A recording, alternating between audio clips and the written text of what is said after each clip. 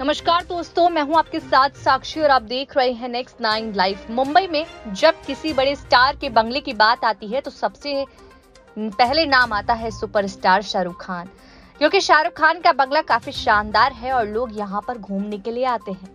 इसका नाम मन्नत है और यहाँ पर शाहरुख खान अपने परिवार समेत रहते हैं। लेकिन ये बात काफ़ी कम लोग जानते हैं कि सलमान खान इस बंगले के मालिक हो सकते थे, लेकिन सलीम खान के कारण ऐसा नहीं हो सका। हाल ही में सलमान खान ने अपने दोस्त शाहरुख खान के बारे में बात की और बताया कि कैसे सालों पहले शाहरुख के घर मन्नत को सलमान ने खरीदने का ऑफ़र पाया था।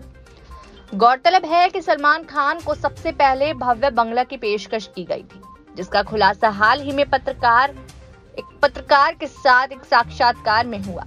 इंटरव्यू के दौरान उनसे एक ऐसी चीज़ के बारे में पूछा गया जो शाहरुख के पास थी और सलमान के नहीं। बाद वाले ने कहा, उनका मन्नत का अब है बंगला? लेकिन यह मुझे सबसे पहले आया था जब मैंने अभी शुरुआत की थी। मेरे पिताजी ने कहा था कि इतने बड़े घर में तुम करोगे क्या? मैं शाहरुख से पूछना चाहता हूँ, इतने बड़े घर में करता क्या है तू? सलमान खान का ये बयान काफ़ी चर्चा में है।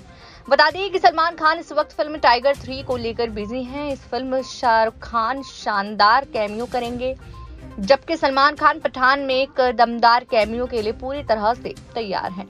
ऐसे अपडेट्स के लिए चैनल को सब्सक्राइब करना ना भूलें।